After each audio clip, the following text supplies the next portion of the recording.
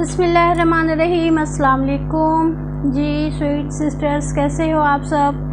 जी जनाब, मैं आज आपके लिए एक ऐसा लुक करने वाली हूँ। ये आप ईद पे करेंगी। एक्चुअली ये जो लुक है, ये आपके हर कलर के ड्रेस पर आसानी आप इसे कर सकती हैं। चाहे आपका ड्रेस पिंक कलर का हो, चाहे पिच कलर का हो, चाहे ग्रे कलर का हो ब्लू कलर का हो, आसमानी कलर का हो, इवन ये कि अगर आप ब्लैक कलर का भी ड्रेस कर रही हैं तो आप इतनी गर्मी में आपको बहुत ज़्यादा स्मोकी लुक करने की ज़रूरत नहीं है। आप ब्लैक ड्रेस पे भी ये मेकअप आराम से कर सकती हैं बहुत जल्दी होने वाला और बहुत आसानी से होने वाला मेकअप है ये। तो जनाब, शुरू करते हैं अपना मेकअप सबसे पहले मैंने इस तरह का एक ब्रश लिया और मैं इस पर पिंक कलर का शेड अप्लाई करूँगी इसकी हेल्प से। आउटर कॉर्नर से मैं स्टार्ट ले रही हूँ। और इसको मैं अंदर की जाने अप्लाई करूँगी क्रीज एरिया तक। ठीक है?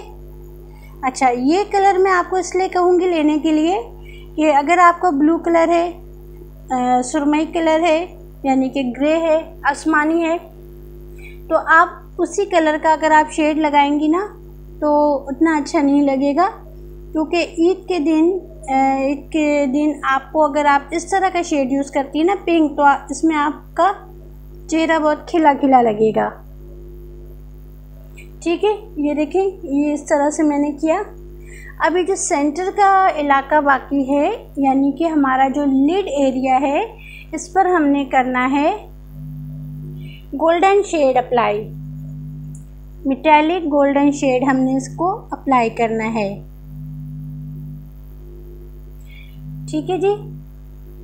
अच्छा फ़र्ज़ करें आपके ड्रेस में गोल्डन शेड है ही नहीं।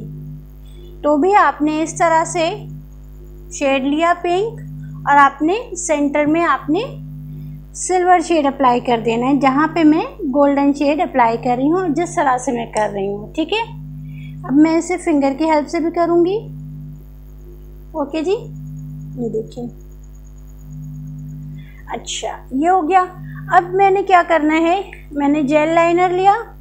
मैंने ये इसका, ये छोटा सा कट ब्रश लिया। इसकी हेल्प से मैं अब अपना लाइनर भी अप्लाई करूँगी हैंड टू हैंड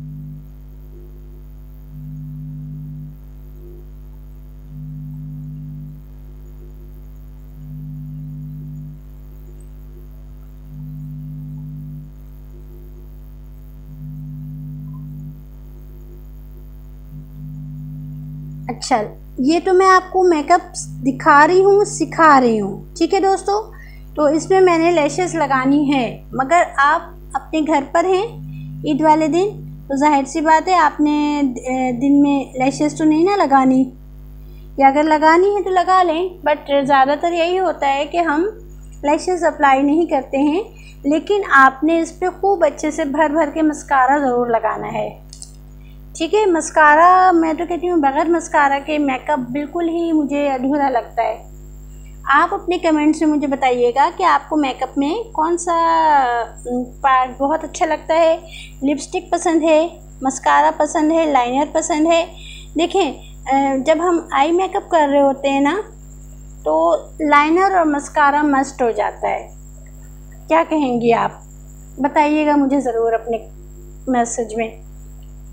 अच्छा जनाब, देखिए, आप चाहें तो अपना मेकअप यहीं पे भी डन कर सकती हैं, ठीक है? यानी आपने अपनी लेशेस पे खूब अच्छे से मस्कारा अप्लाई करना है और खूब अच्छे से आपने उसको मतलब काजल लगा लीजिए या अगर आप काजल नहीं लगाना चाह रही हैं तो आप वाइट पेंसिल लगा लीजिए। आँखों के नीचे भी यही पिंक शेड में दे रही हूँ। ओके? सेम हमने दोनों तरफ़ यही करना है। अच्छा दोस्तों, इसमें मैंने किसी किस्म का कोई ग्लिटर वगैरह नहीं अप्लाई किया।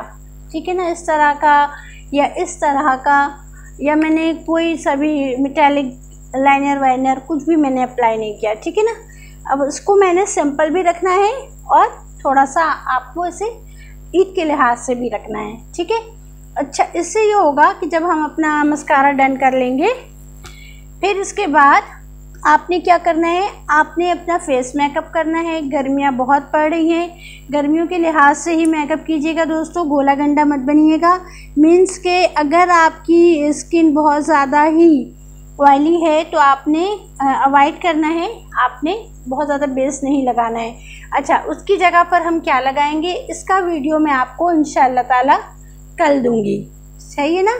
ये मेकअप आप ज़रूर कीजिएगा लेकिन अगर आप इतनी गर्मी में बेस मेरी तरह नहीं लगाना पसंद करती हैं तो हम क्या लगाएँ? इसका ये इसका वीडियो मैं इंशाल्लाह ताला कल शाम अफ्तार के बाद आपको मैं एक वीडियो दूँगी वो आप ज़रूर देखिएगा। अफ्तार के बाद उस वीडियो को तो आपको ये क्लियर हो जाएगा कि हम गर्मियों में बेस की जगह पर क्या यूज़ करें जो हमें ए, क्या कहते हैं इंस्टेंट हमें वाइटनिंग भी देगा ग्लोइंग भी करेगा हमारे स्किन को और हमारे मेकअप को भी बहुत अच्छा दिखाएगा, ठीक है ना? अब इस दौरान जनाब मेरी लैशेज़ हो गई हैं ड्राई तो मैंने क्या करना है? सुकून से इनको अप्लाई कर लेना है, ठीक है?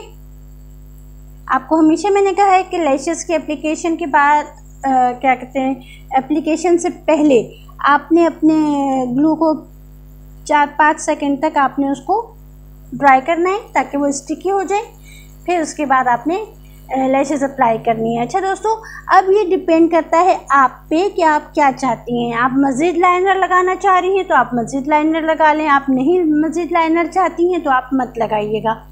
अगर आप अब मैं इस पर लगा रही हूँ लैशेज़ तो मैंने इस पर पहले ही लाइनर लगाया है। लेकिन आप लैशेज़ नहीं लगाएँगी तो आपने बिल्कुल पतला सा लाइनर ज़रूर लगाना है। बगैर लाइनर के तो मज़ा नहीं आएगा भाई। हम मेकअप आई मेकअप करें और उसमें लाइनर और मस्कारा ना हो। अरे भाई, ऐसी तो गलती नहीं कीजिएगा आप लोग, ठीक है ना? लाजमी लगाइएगा। तो देखिए, ये मेकअप आपका कितना हो, अच्छे से हो गया। अब मैं ये आपको जो बताने वाली हूँ ना इन ताला कल की वीडियो आप लोग मिस मत कीजिएगा। इन ताला कल मैं आपके साथ शेयर करूँगी एक ऐसी प्रोडक्ट जो हम गर्मियों में यूज़ कर सकते हैं बासानी। मेरी तरह वो सारी बहनें जिनकी स्किन बहुत ज़्यादा आयली है, या वो मेरी स्वीट सिस्टर्स जो ज़ाहिर सी बात है, ईद के दिन इतने काम होते हैं घर के कि हम जनाब मेहमानों को भी देखना है, अपनी फैमिली को भी देखना है, अपने आप को भी देखना है। क्योंकि ज़ाहिर सी बात है, ईद के दिन हम अपने आप को नहीं देखेंगे तो हम आने वाले मेहमान हमारे बारे में क्या सोचेंगे? ठीक है ना? तो आपने अपने आप को लाजमी खूबसूरत बनाना है। देखें काम तो होता ही रहेगा। सही है ना? काम तो हमने करना ही है ना भाई? काम तो करना ही है। काम के बगैर हमारा काम कैसे चलेगा? काम तो करना ही है। मगर प्लीज़ अपने आप को इग्नोर मत कीजिएगा। ये नहीं कि बस मेहमान आए हुए हैं और आप बस बस किचन में घुस के आपने अपने आप को पसीने पसीने किया हुआ है। और आपने अपने आप को बिल्कुल इग्नोर किया हुआ है। नहीं, ऐसा मत कीजिएगा। ईद का दिन है। आपने अपने आप को भी उतना ही तवज्जो देनी है जितना कि आपने अपनी फैमिली को देनी है। ठीक है दोस्तों, इसके बाद हमने क्या करना है? हमने अपने फेस पे प्राइमर यूज़ करना है। प्राइमर भी गर्मियों में लाजमी लगाया करें। प्राइमर से ये होता है कि हमारी जो स्किन के पोर्स जो होते हैं ना ओपन पोर्स वो श्रिंक हो जाते हैं। जो बेस या जो मेकअप होता है, वो हमारी स्किन के अंदर घुस नहीं पाता है और हमारी स्किन को डैमेज नहीं कर पाता है, ठीक है ना? और हमारी स्किन को प्रोटेक्ट करता है प्राइमर उसके बाद आपने, जो मैं आपको बताऊँगी कल प्रोडक्ट आपने वो अप्लाई करनी है, उसके बाद आपने ब्लश ऑन करना है। बिल्कुल लाइट से आपने लिपस्टिक लगानी है और आपने हो जाना है रेडी ठीक है? और आपने रेडी होकर अपने मेहमानों को वेलकम करना है, लाजमी, ठीक है ना? अच्छे से तैयार होके, खूब खूबसूरत बन के और खूब अच्छा सा आपने अपना लुक क्रिएट करना है। लुक क्रिएट करके ही देखें, आप जब अच्छे से तैयार हो जाएँगी ना तो आपको एक कॉन्फिडेंस रहेगा, मेहमानों के सामने कॉन्फिडेंस से आप जाएँगी। सही है ना? अब क्या करना है हमने? अब कुछ भी नहीं करना है। बस हमने अपने आप को इसी तरह से रेडी करना है रेडी करके हमने अच्छा ये कुछ चीज़ें ऐसी होती हैं दोस्तों कि हम उनको, ये देखो, ये हमारे डॉगी को पता नहीं क्या हुआ है, रात में भौंक रहा है। कुछ चीज़ें ऐसी होती है दोस्तों कि हम उनको क्या कहते हैं, जब यूज़ कर रहे होते हैं ना, तब हमें उनकी बेनिफिट्स पता चलती हैं। सही है ना? तो कोशिश किया करें कि अपने आप को खूब अच्छे से तैयार रखें ईद के दिन।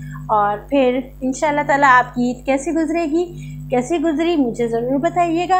आई होप आप सबने अपनी शॉपिंग तो कर ही ली होगी, मेरी तरह। लेकिन दोस्तों मैं शॉपिंग वॉपिंग पे इतना नहीं जाती हूँ। इसकी रीज़न सिर्फ़ ये है कि मेरी शॉपिंग सॉरी मेरी शॉपिंग मेरे हस्बैंड करते हैं। उनकी हुई चीज़ें मुझे पसंद आती हैं, उनके हुए कपड़े, उनकी हुई ज्वेलरी, उनकी हर चीज़ हुई मुझे पसंद होती है। तो वो जो भी मुझे ला के देते हैं ना, मैं खुशी खुशी पहनती हूँ और मुझे उनकी चॉइस बहुत अच्छी लगती है। और जिसको पहन के दिखाना है उससे अच्छा लग रहा है ना, बस काफ़ी है। किसी को लगे ना लगे, मैं बाकी सबकी मैं टेंशन नहीं लेती हूँ।